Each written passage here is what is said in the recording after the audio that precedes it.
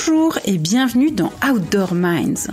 Nous vivons des changements sociétaux très forts qui impactent les business models des secteurs du tourisme et des sports outdoor.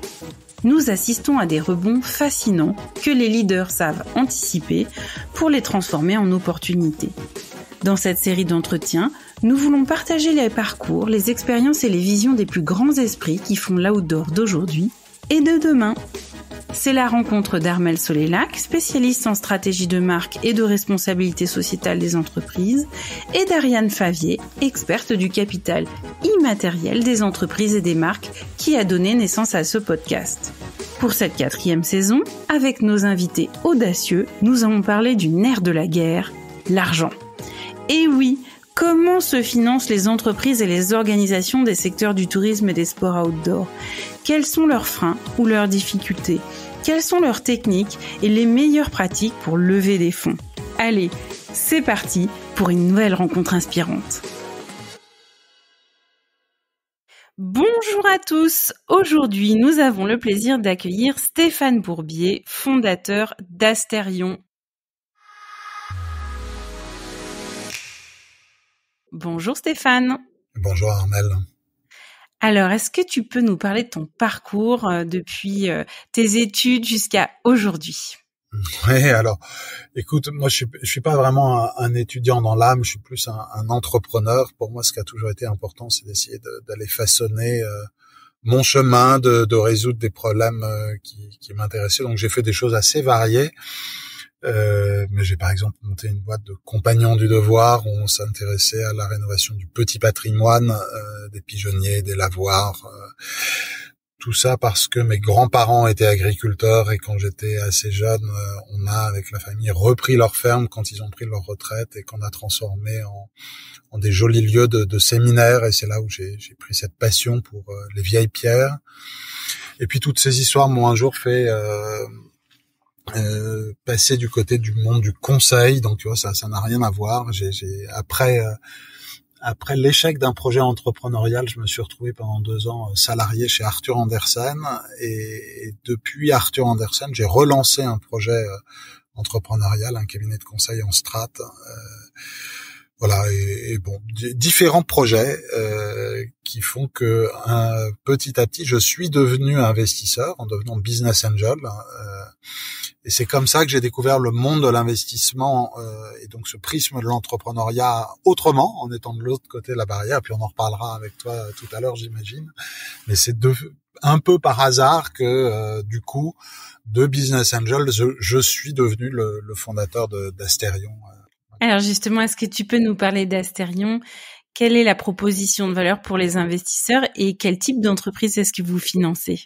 Oui, à Astérion, on est euh, vraiment un fonds euh, impact. Hein. Euh, on, investit uniquement dans des projets qui veulent avoir une contribution positive au monde, des enjeux climatiques, mais aussi des enjeux de, de transformation sociétale. Et notre baseline, c'est prendre soin des entrepreneurs qui réparent le monde. Et on s'intéresse vraiment aux primo-entrepreneurs, aux gens dont c'est la première boîte. Donc Astérion, on fédère en fait une, une communauté assez large d'entrepreneurs ou de patrons patrons patronnes de, de, grandes boîtes, des gens qui ont un petit peu réussi, qui ont un peu d'expérience et qui sont animés par ce double give back, aider des gens dont c'est la première boîte hein, avec des boîtes qui elles-mêmes veulent avoir une contribution euh, positive euh, sur la planète. Et donc on fait dans le jargon du, des VC ce qu'on appelle du pré-seed seed, donc vraiment les, les, tout débuts de projet. On investit des, des, montants entre 500 000 et 2 millions d'euros euh, par startup sur des, des, tours de financement qui peuvent aller jusqu'à 5 millions d'euros. Donc c'est la, la, phase de, de, création et puis le début du market fit. Donc enfin c'est un jargon un peu euh, anglo-saxon, mais euh, quand, la boîte commence à trouver un petit peu son marché, son produit, ses premiers clients, et qu'on se dit tiens, là il y a un vrai truc. Quoi. Nous notre job, c'est de les emmener jusqu'à ce niveau de maturité là et de permettre du coup les, les levées suivantes. Est-ce que tu peux nous donner euh, quelques exemples d'entreprises que vous avez baquées? Ouais, bien sûr. Écoute, aujourd'hui, euh, ben, on vient de signer ce matin. Euh, alors là, je peux pas encore en parler, mais notre vingtième investissement. Euh, Bravo. Donc ça, ça commence à, à faire quelques-unes en, en, deux ans et demi. On investit dans à peu près un projet par mois. euh, sur des, des, sujets très très digitaux comme Axio qui fait des, des bilans carbone pour des, des PME ETI et des plans de réduction carbone. WeFin euh, qui aide des, des, asset managers de gros fonds euh, côté ESG euh, à mieux définir et suivre leur thèse et donc à être des bons investisseurs ESG et pas faire du, du greenwashing. Euh, voilà. Euh, on investit dans des projets après beaucoup plus concrets euh, qui vont réinventer certains business models. Un projet que j'adore, c'est Bon Dimanche, c'est des micro-laiteries euh, qui fait euh, des crèmes glacées avec des producteurs locaux. Donc, comment implanter une toute petite unité de production qui va travailler avec quelques éleveurs bio bien identifiés pour approvisionner une agglomération en bonne glace, crème dessert. Donc, c'est un peu l'inverse d'un Danone ou d'un Lactalis avec des usines géantes en Bretagne qui après on voit des petits pots de yaourt ou de glace partout en France et en Europe. On travaille beaucoup sur des sujets euh, d'économie circulaire ou de gestion de déchets. Donc Urbine, par exemple, c'est c'est une boîte qui accompagne les, grandes entreprises multisites pour bien identifier et gérer leur flux de déchets et permettre le meilleur recyclage possible de tous les déchets produits par, par des boîtes. Hein. Euh, mais en économie circulaire, on bosse aussi avec euh, Yeasty. Euh, Yeasty, c'est euh, le retraitement des levures de bière post-fermentation. En fait, quand tu fais de la bière, il faut de la levure. À la fin de la fermentation, cette levure, elle est devenue ultra amère et aujourd'hui, elle partait en station d'épuration. Euh, et eux ont développé un procédé qui permet d'en enlever l'amertume et donc d'avoir des protéines végétales d'une très grande qualité euh, et d'éviter ce, ce, déchet qui était euh, juste perdu. Euh, on, va bosser aussi beaucoup dans, dans des startups industrielles et ça c'est un peu une passion pour nous. Euh, on a par exemple investi dans Everdye qui fait des biopigments euh, pour l'industrie textile. Une levée de fonds qui a été annoncée il y a très peu de temps, c'est Kaeli Kaeli, ils ont décidé de, ils ont fabriqué un nouveau système de rafraîchissement d'air. Donc en fait, aujourd'hui, euh, ben, avec le réchauffement climatique, tu as énormément euh, d'air conditionné qui fonctionne déjà avec des, des, gaz fluorés qui sont pas très bons pour euh, l'environnement, mais surtout qui consomment énormément d'électricité. Donc tu as un, effet îlot de chaleur terrible. Plus il fait chaud, plus tout le monde met sa clim, plus il fait chaud. et et Kaeli, en fait, ils se sont réappropriés une technique assez ancienne. Peut-être que ta grand-mère faisait ça, la mienne en tout cas le faisait. Elle mettait un drap mouillé sur la fenêtre quand, quand il faisait très chaud en été. Et avec l'évaporation de l'eau, tu génères un rafraîchissement très fort. Et donc eux ont développé un petit bloc très compact, un échangeur thermique où tu as un petit goutte à goutte d'eau et un petit ventilateur qui euh, qui refroidit énormément ta pièce euh, en rejetant à l'extérieur simplement un air un petit peu plus humide. Quoi entre la glace et la bière et euh, le rafraîchissement, Astérion, c'est un truc d'hédoniste en fait. Ouais, aussi, aussi. On aime bien, on aime bien les, les, ouais, on aime bien les beaux projets. Euh, on a des entrepreneurs. Si c'est ça qui est assez génial dans l'impact, c'est que euh, les, les, entrepreneurs montent pas ces projets pour monter des boîtes. Ils les montent parce qu'il y a un problème qui leur tient à cœur, un truc auxquels ils ont été confrontés dans leur vie, dans leur expérience personnelle, et ils ont envie d'apporter une solution. Et, et nous, on les aide à développer cette solution et à vraiment la passer à l'échelle euh, pour que ce soit de l'impact at scale, qui est comme dans notre thèse de, de de fond, hein, euh, pour apporter après un, vrai retour sur investissement aux gens qui nous confient leur argent. Euh, et, et, dans le monde de l'impact, tu as eu pendant... Les, les, pionniers de l'impact étaient très impact social, sociétal, en disant il faut accepter de, des projets moins rentables, mais qui vont avoir une contribution plus positive à notre monde. Nous, on a la, la perception que euh, pour avoir beaucoup d'impact, il faut pouvoir développer des, des, très belles et très grosses boîtes qui vont vraiment agir à l'échelle. Et donc, il n'y a pas en fait d'incompatibilité entre euh, taux de rendement financier et impact. Euh, et alors on n'aime pas le mot euh, licorne parce qu'on trouve que c'est des animaux imaginaires qui n'ont pas trop de sens. Euh, donc nous on dit qu'on essaye de bâtir des cathédrales hein, qui sont des objets bâtis par des communautés au service d'une communauté, qui ont des fondations très profondes, qui mettent du temps à se bâtir, mais qui sont là pour durer. et c'est ça qu'on essaye de, de, faire avec avec nos startups. Comment fonctionne Asterion? C'est quoi le, le business model derrière?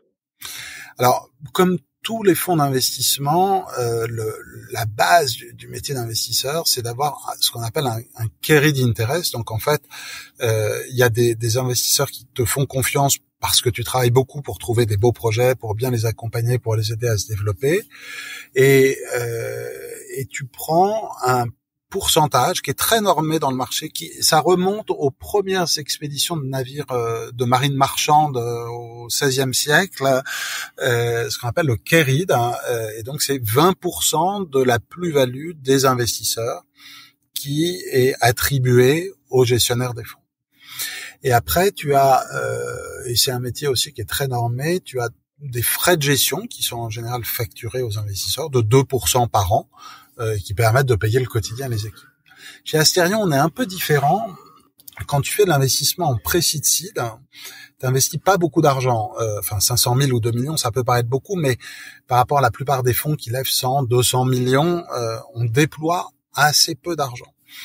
Et, et, du coup, toute l'idée, toute la proposition de valeur a été de dire on va demander à nos investisseurs de passer du temps pour accompagner nos startups hein, et ils vont tous s'engager à passer en moyenne une heure par mois pour chaque startup dans laquelle ils ont investi. Et donc, tu as certains qui vont aider sur des recrutements clés, d'autres qui vont coacher un CTO ou, un responsable des ventes parce qu'ils ont cette, expérience, d'autres qui vont faire deux workshops dans l'année sur euh, la stratégie de la plateforme de marque, euh, d'autres qui vont réfléchir à dans quel pays on va d'abord euh, après la France. Et, et, chacun va apporter sa pierre à l'édifice. Et en contrepartie, il ne paye pas de frais de gestion. Euh, donc le, le modèle d'Asserion, c'est de dire vraiment, on réunit des, des gens très experts d'un secteur et des métiers stratégiques de, de, la boîte. On les réunit dans un véhicule ad hoc qu'on appelle un SPV, Special Purpose Vehicle, hein, euh, donc une holding en fait, hein, c'est une SAS classique, euh, qui va prendre une participation dans une start-up donnée. La plupart des fonds euh, fonctionne un petit peu différemment. Tu as des investisseurs, souvent des institutionnels, des banques, des compagnies d'assurance, des grands corporates, euh, qui, qui mettent en commun de l'argent dans un gros pot commun, et c'est ce pot commun qui va investir dans 10, 20, 30 participations. Nous, on a voulu euh, éviter cette intermédiation de la finance et permettre en fait à chaque investisseur de choisir le projet et les entrepreneurs qu'il ou elle aime de manière à, créer un lien beaucoup plus direct et cette envie euh, d'aider et de contribuer. Alors on n'est pas non plus du crowdfunding, hein, on en est très loin puisque euh, on, veut vraiment de l'argent très très expert et très très spécialiste euh, du domaine dans lequel chacun vient investir. Donc c'est un club deal mentoring.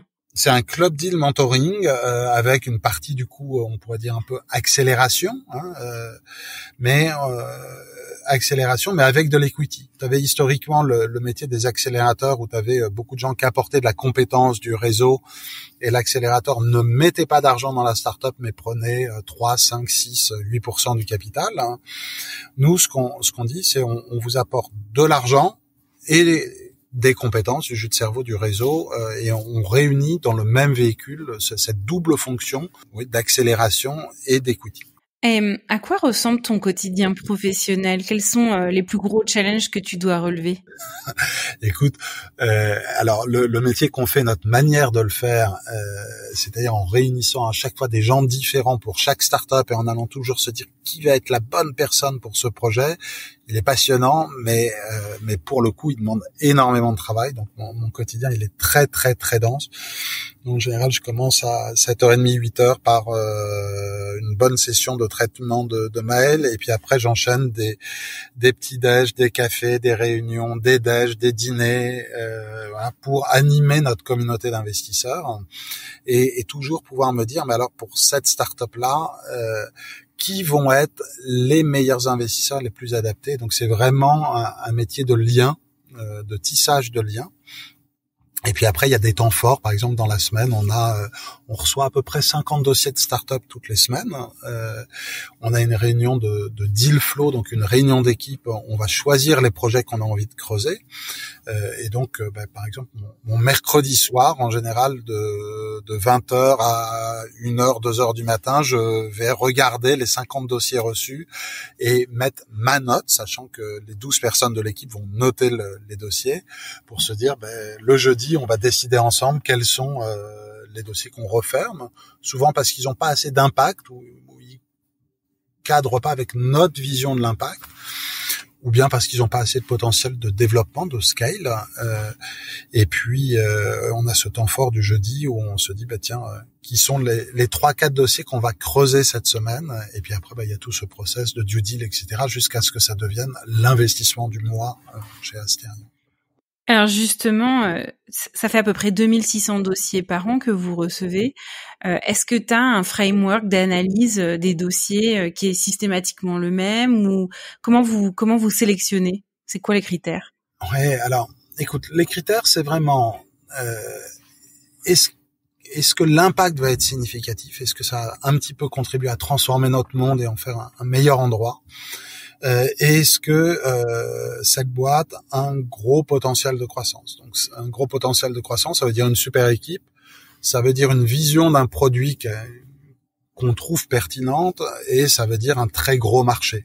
Euh, donc on, on, reçoit, je sais pas, la semaine dernière, on a reçu un projet euh, qui m'a beaucoup touché parce que il se trouve qu'après avoir revendu des boîtes, euh, j'ai passé pas mal de temps à accompagner déjà en soins palliatifs. Euh, j'ai eu un engagement associatif assez long et assez fort, et c'était un projet pour un très beau club de sport qui s'adresse euh, aux patients euh, victimes d'un cancer, mais qui était localisé dans un arrondissement lyonnais avec une équipe qui n'avait pas pour vocation de développer ce modèle et d'en faire un, un projet à dimension nationale ou internationale pour tous les patients victimes d'un cancer. Donc ça, c'est des projets qu'on peut aimer. Éventuellement, on va, on va donner un coup de main, faire une intro, mais c'est pas des projets dans lesquels euh, Asterion va pouvoir investir. Donc, il faut vraiment cette double dimension d'impact très fort et d'un gros potentiel de, de, croissance.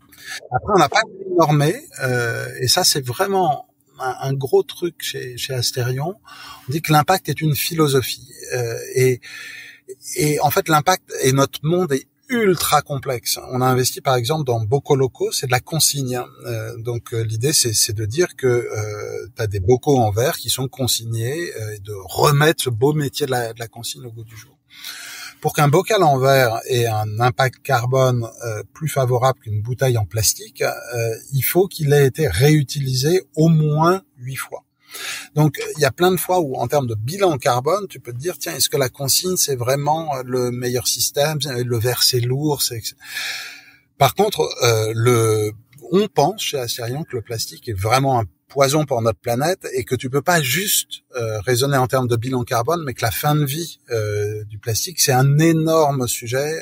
Donc là on se dit bon ok, même si le, le bilan carbone n'est pas flagrant, euh, c'est évident qu'il faut aller sur ce sujet de la consigne pour euh, essayer d'avoir le moins de plastique possible de, de produits dans, dans, notre monde. Donc, on a comme ça des débats un peu euh, passionnés parfois dans l'équipe, impact, pas impact, et on essaye d'adresser la complexité des sujets. En tant qu'investisseur, quel conseil est-ce que tu donnerais à des entrepreneurs qui sont en levée de fonds et qui vont comme ça te démarcher? C'est des conseils un peu tout bêtes, mais c'est de d'avoir un, un, deck, enfin un dossier de présentation qui soit vraiment autoporteur, qui soit très clair. Euh, on, on, reçoit 50 dossiers par semaine, donc il y a, y a, beaucoup d'entrepreneurs qui, qui, nous demandent à nous rencontrer avant pour nous expliquer euh, leur. Et en fait, ben, c'est juste pas possible hein, euh, parce qu'on peut pas passer 50 euh, heures par semaine à rencontrer 50 euh, personnes différentes. Donc on, on est obligé de fonctionner sur la base de, de ce deck qui est, vraiment le, le, passage obligé et sur la base des, des dossiers de se dire ben, est-ce qu'on a est-ce que sur les 50 reçus le projet fait partie des 3-4 qu'on a envie de rencontrer et donc des équipes avec lesquelles on va pouvoir interagir? Et, euh, et, donc la clarté de, de ce document euh, et le fait qu'il soit vraiment exhaustif, qu'on prenne bien euh, les, la vision du marché, la vision du produit, la concurrence, l'équipe. Enfin voilà, c'est assez normé et, et c'est vraiment quelque chose qui doit qui doit être super quali sur lequel il faut vraiment passer du temps, le faire relire et re-relire à des non-sachants, hein, parce que euh, nous, on n'est pas euh, des experts de la consigne, on n'est pas euh, des experts des biopigments pour l'industrie textile, donc il faut vraiment tout de suite que le, le, le ce deck nous explique d'une manière très claire quel est le projet, le problème que, que les entrepreneurs veulent résoudre. Puis après, une fois que cette barrière est franchie et donc on, rencontre les entrepreneurs. Euh, là, ce qu'on leur demande, euh, c'est d'être vraiment, enfin, en tout cas, le conseil que je peux donner, c'est d'être vraiment authentique, euh, d'être eux-mêmes, d'être sincère, de, de, savoir bien expliquer le pourquoi ils se lancent dans ce projet. Et c'est pas un concours de séduction. Euh, c'est pour les entrepreneurs, il faut qu'ils aient le bon investisseur. Le bon investisseur, c'est celui qui va matcher avec leur culture, avec euh, avec les personnes qu'ils ou elles sont. Et euh, le rapport fonds d'investissement entrepreneur, c'est des histoires qui durent 5, 6, 7, 10, 20 ans. Euh, nous, on a vocation à être le, le, partenaire stratégique de long terme des boîtes dans lesquelles on investit. Donc, ça ressemble quand même un petit peu à un mariage. Hein. Euh, donc, tu as intérêt à, à pas tricher, quoi, et être vraiment toi-même, être sûr que euh, ils fit avec leurs investisseurs, qu'ils apprécient leur manière de, de, réfléchir, de les challenger, que, que ça peut un peu frictionner euh, tout en étant dans la co-construction. Euh, voilà. Donc vraiment être eux-mêmes et, et, être attentif à la qualité de la relation qui se noue avec les investisseurs avec lesquels ils, ils discutent. Quel conseil euh, tu donnerais, euh, à contrario, à quelqu'un qui voudrait créer un fonds d'investissement? Alors, je sais pas si je suis super bien placé pour donner des conseils comme ça, parce que moi, Astérion, je l'ai monté un peu par hasard, si tu veux. Euh, J'étais investisseur, euh, business angel, et au début, j'investissais dans des projets qui n'étaient pas forcément impact, euh, comme Pumpkin, tu vois, une euh, néobanque qui a été vendue à Crédit Mutuel Arkea, qui, qui était un super projet. J'adore euh, Constantin, le, le CEO qui a, qui a, monté cette boîte, mais c'était pas spécialement impact. Et puis j'avais mon engagement associatif à côté. Et il se trouve que euh, au bout d'un moment, j'ai investi dans Clear Fashion, qui est le Yuka de la mode, hein, donc une appli, un site qui permet d'avoir toutes les infos sur tes fringues et être sûr que elles n'ont pas été fabriquées par des Ouïghours, qu'elles sont bonnes pour la planète, que t'as pas un pigment euh, toxique euh, qui risque de te rendre malade. Euh, et et en rencontrant euh, Rim et Marguerite, euh, je me suis vraiment dit, là, on a des, des entrepreneurs qui ont un projet euh, qui a un énorme potentiel de scale, qui est passionnant, qui a un impact positif. Et, voilà. et puis, euh, on les a pas mal aidés avec Clément, qui était un autre investisseur euh, que je connaissais pas avant, et, et, on a vachement sympathisé. On a réuni tout un petit groupe de d'entrepreneurs passionnés par l'impact avec lesquels on a regardé quelques dossiers, si tu veux. Et puis le confinement est arrivé, et là, mon téléphone a vachement sonné au bout de deux trois semaines. Je pense que tout le monde en avait marre de tourner en rond euh, chez soi. Et il y a plein de gens qui m'ont appelé en me disant "Écoute, Steph, euh, j'ai du temps en ce moment, j'ai envie d'être utile. Euh, Vincent m'a parlé de toi. Il paraît que tu fais de l'impact. Est-ce que tu pourrais me partager tes dossiers? Et puis euh, voilà, de fil en aiguille." Euh, ah, je t'appelle, ah, mes enfants me disent qu'il serait temps que je fasse un truc pour la planète, il paraît que tu fais de l'impact. Bon. Et en sortie de confinement, on était près de 200 ou 300 entrepreneur ayant envie d'être utile et, et, Astérion est né de ce mouvement spontané. Ça n'a pas du tout été euh, anticipé. Tu vois, je me suis pas réveillé un matin en me disant je veux monter un fonds. Et, euh, et du coup, comme notre idée c'était d'accompagner des tout débuts de projet, l'idée de SPV, donc de deal by deal, s'est imposée dès le début. Donc on est très atypique euh, dans le monde des fonds.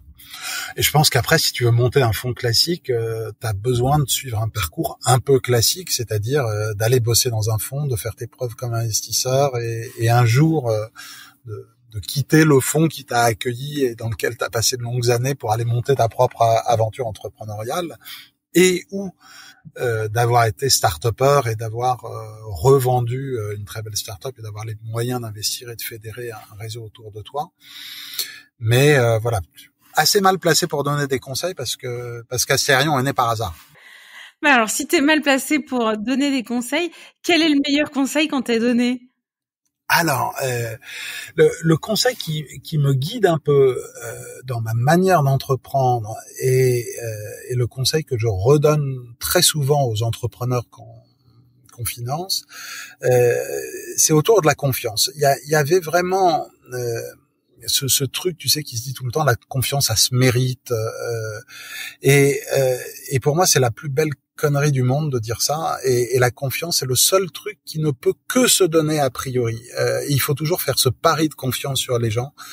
Euh, quand, quand, tu commences à bosser avec quelqu'un, c'est vraiment de, de, faire ce pari de confiance, quitte ponctuellement, ça peut arriver une fois de temps en temps, à être déçu et te dire bon ben on bossera plus ensemble.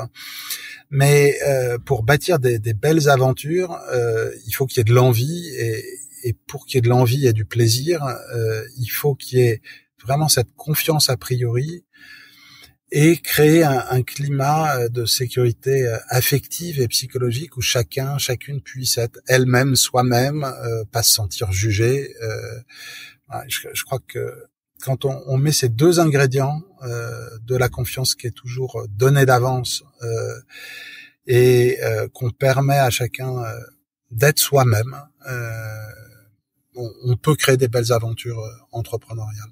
Est-ce que tu aurais un souvenir ou une anecdote d'une situation insolite ou amusante que tu aurais vécue depuis que tu as créé Astérion les, les, moments que j'adore, mais, mais ça n'a rien à voir, c'est c'est pas des moments insolites, mais c'est les moments où on fait la fête. Euh, on, quand, à chaque fois qu'on a réussi une levée de fonds, euh, qu'on s'est dit tiens on a réuni la bonne dream team pour telle startup, on réunit tous les investisseurs avec les entrepreneurs et, on fait une jolie fête euh, et tous les liens qui se créent dans ces moments, la complicité, cette envie d'aider, euh, c'est un peu magique.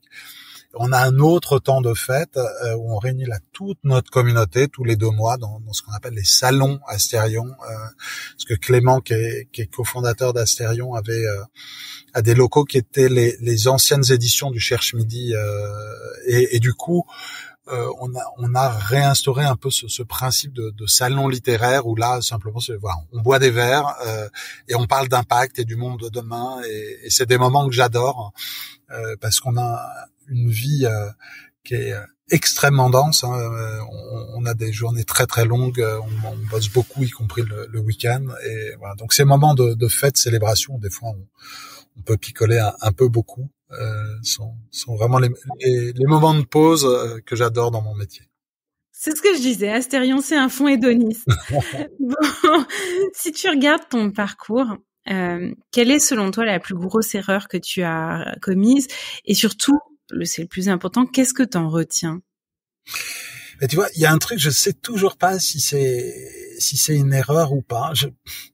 En fait, euh, quand tu es es entrepreneur, euh, il y a toujours une grande grande question autour de la résilience. Euh, est-ce que jusqu'où tu es dans la résilience euh, et, et, quand est-ce que tu tombes du côté de l'obstination déraisonnable euh, et quand est-ce qu'il faut savoir arrêter euh, et c'est vachement dur de savoir. Euh, j'ai monté une start-up qui s'appelait euh, Aurco avec euh, avec euh, mon associé Elodie Brisset et, Thomas Grosbeau et, et, puis Vivien Nolo qui était notre CTO. On a adoré cette aventure, on s'est battu pendant quatre ans. L'idée, c'était c'était quoi? C'était de permettre euh, aux gens au boulot de parler des tabous auxquels ils étaient confrontés le harcèlement, le racisme, euh, leur crise d'angoisse, leur dépendance à l'alcool ou à la drogue, euh, leur cancer, leurs proches malades, tous ces sujets que tu n'abordes pas facilement au travail, que tu peux souvent pas aborder au boulot.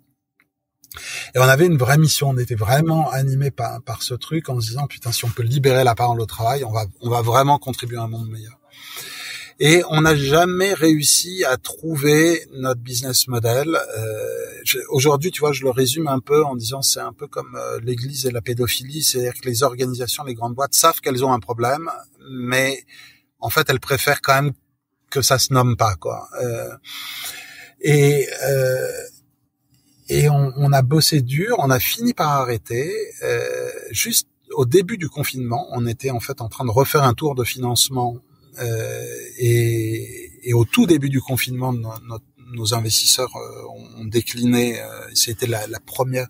En fait, dans le confinement, tu as eu après beaucoup d'investissements, mais au tout début, beaucoup de panique dans, dans le monde des investisseurs. Et euh, on aurait peut-être pu durer. On a pris la décision d'arrêter. Et aujourd'hui, je me dis, tiens, en fait, est-ce que c'était une erreur d'avoir continué aussi longtemps? Ou est-ce que finalement on a arrêté trop tôt? Parce que post-confinement, tu as énormément de startups qui se sont lancées dans la santé mentale tu as eu euh, des, des, gros mouvements de libération de la parole euh, et, et, du coup peut-être que si on avait euh, persévéré euh, six mois ou un an de plus, on aurait peut-être été enfin dans le bon time to market et on aurait peut-être fait une, une super startup.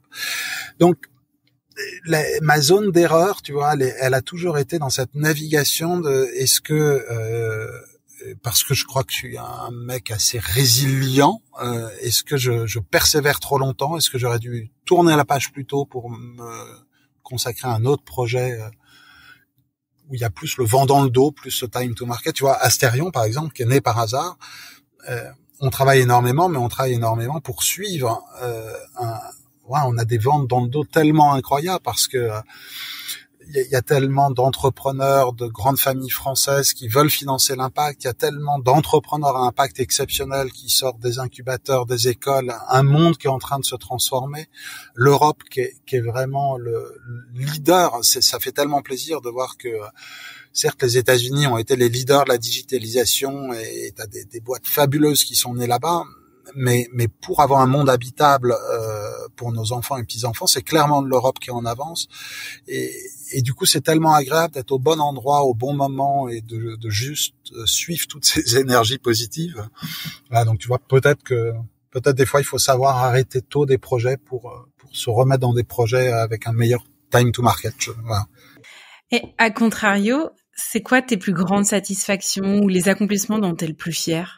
Bah, euh, c'est très personnel, mais euh, même si je travaille euh, énormément depuis toujours, euh, la, la, dimension de ma vie que je préfère, c'est quand même celle d'être père. Euh, et, et, donc, bah, moi, je suis super, je suis super heureux d'être un, un, vrai, je crois, un vrai père pour, pour mes trois enfants.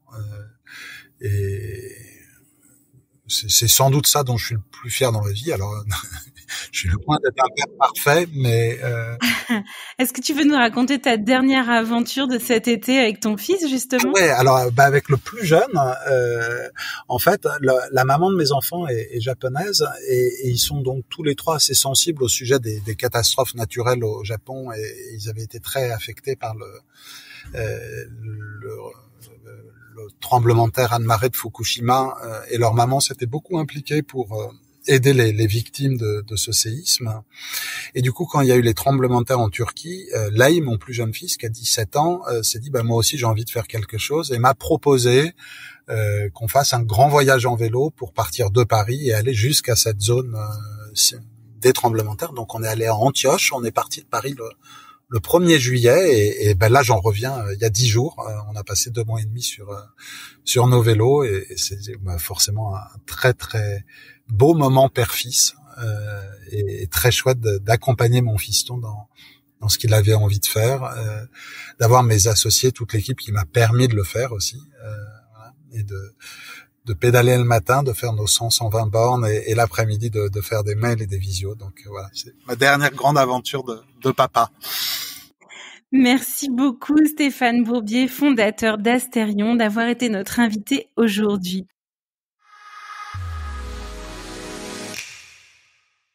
Voici les quatre points à retenir de cet épisode. Le premier, c'est le framework d'analyse d'Astérion qui tient en trois questions. Est-ce que l'impact de l'entreprise est significatif? Est-ce que la taille du marché est suffisante? Et est-ce que l'équipe est suffisamment solide pour piloter l'entreprise? Le deuxième point, c'est que quand vous faites une levée de fonds, il faut que le deck soit autoporteur. Ça veut dire qu'il doit être clair, exhaustif et très qualitatif. Il faut y passer du temps. Et un petit tips, eh bien, c'est de faire relire votre deck par des non-sachants pour être sûr que votre propos est bien clair. Le troisième point, c'est que la confiance, ça se donne a priori. C'est donc un pari, et comme tout pari, il y a un risque qu'il faut accepter de prendre. Enfin, le dernier point, c'est euh, Quand est-ce qu'il faut être résilient et quand est-ce qu'il faut débrancher la prise? Ça, c'est une question que tous les entrepreneurs se sont posées au moins une fois dans leur vie. Derrière cette question, il y a celle du time to market, qui est aussi un point qui doit être démontré dans votre deck lorsque vous faites une levée de fonds. Merci à tous d'avoir écouté cet épisode d'Outdoor Minds. Si vous êtes arrivé au bout, c'est sûrement qu'il vous a plu. Nous vous invitons à le partager autour de vous et à nous soutenir en mettant une note de 5 étoiles avec un commentaire sympa. Cela nous aidera beaucoup à faire connaître cette balado-diffusion et mettre en lumière tous ces leaders qui le méritent. Vous voulez découvrir de nouvelles choses dans le tourisme et les sports outdoor? Alors nous vous invitons à nous retrouver dimanche prochain avec un invité prestigieux. À très vite pour un nouvel épisode d'Outdoor Minds.